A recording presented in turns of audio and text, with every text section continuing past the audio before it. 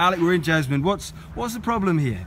Well, in Jesmond, obviously, it's still a mixed community of local residents and students. Yeah. And a lot of students feel that this is mainly a student area and they don't respect the fact that there are still local residents here. Does that create ill feeling? It often does, yes. How, how come? Uh, well, the local residents feel that the students are taking over and they're not sort of playing the game and looking after the place like they think they should do.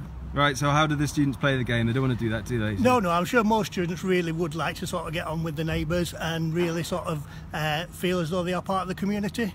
And by sort of following a few uh, simple rules, they can they can sort of all live together in harmony. Come on then, what's those rules? Uh, one of the main rules is is rubbish. Uh, obviously, there's there's a huge amount of rubbish uh, created by both uh, residents and students, and it really is important to make sure that you you follow the guidelines and, and dispose of your rubbish and recycling responsibly.